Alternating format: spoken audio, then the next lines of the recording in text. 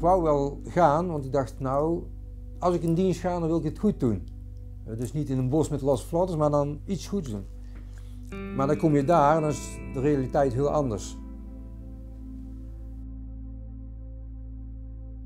Op 27 januari 1979 nam het 44e Panzerinfanteriebataljon uit Zuid-Laren posities in in het zuiden van Libanon. Dit zogenaamde VN-bataljon, dat later bekend werd als Dutch Bed, werd als onderdeel van Unifil ingezet om de strijdende partijen van elkaar te scheiden. We zijn weg geweest buiten de poort, we komen terug, we hebben iets meegemaakt, er werd niet over gepraat. Nu is het moeilijk om erover te praten en toen was het gewoon dagelijks werk. Niet alleen voor dienstplichtige soldaat Gijs van Berkel was het een groot avontuur.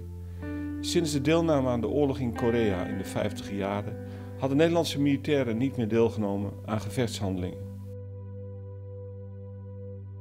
Na die beelden van Irak op tv was, toen is bij mij iets in mijn hoofd, heeft het een knopje, dat is omgegaan. En dus eigenlijk is het gewoon, uh, zijn de slechte herinneringen naar boven gekomen. Ik had vroeger, toen ik werkte, had ik mijn collega's, waar, ja, daar kon ik eigenlijk heel goed mee opschieten.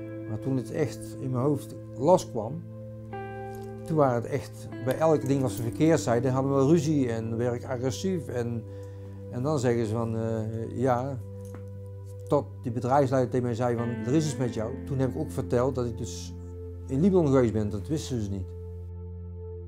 Veteranen die lijden aan een posttraumatische stressstoornis worden in hun dagelijkse doen en laten steeds opnieuw geconfronteerd met verdrongen herinneringen uit het verleden. Nou, de mensen moeten dus weten dat het ten is niet zichtbaar en het is best moeilijk om mee te, kunnen, mee te leven. En ook wat je. Uh, dat sommige dingen. dat we sommige dingen doen wat we eigenlijk helemaal niet willen. En dat doet wel zeer.